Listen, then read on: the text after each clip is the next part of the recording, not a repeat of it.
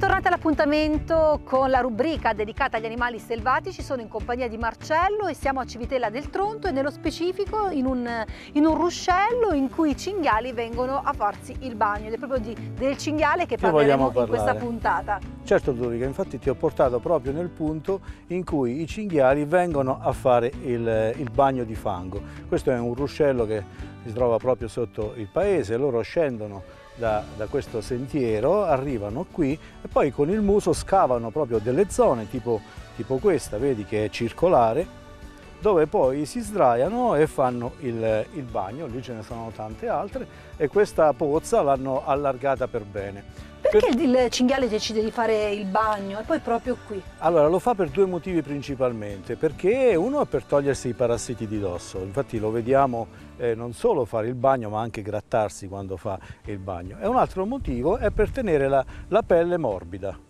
quindi il pelo per tenerlo bello eh, morbido.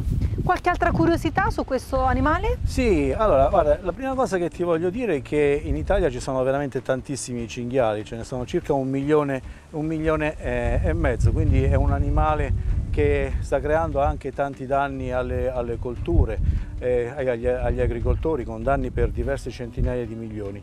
E una curiosità è che il cinghiale riconosce i, pro, i propri parenti. Quindi tutti i gruppi, tutti i branchi di cinghiali che vediamo insieme sono composti tutti quanti da animali che provengono dalla stessa, della stessa famiglia, anche di generazioni... Una sorta di clan? Sì, anche di generazioni passate. Ho una curiosità, i cinghiali scendono sempre più eh, verso la città, questo perché?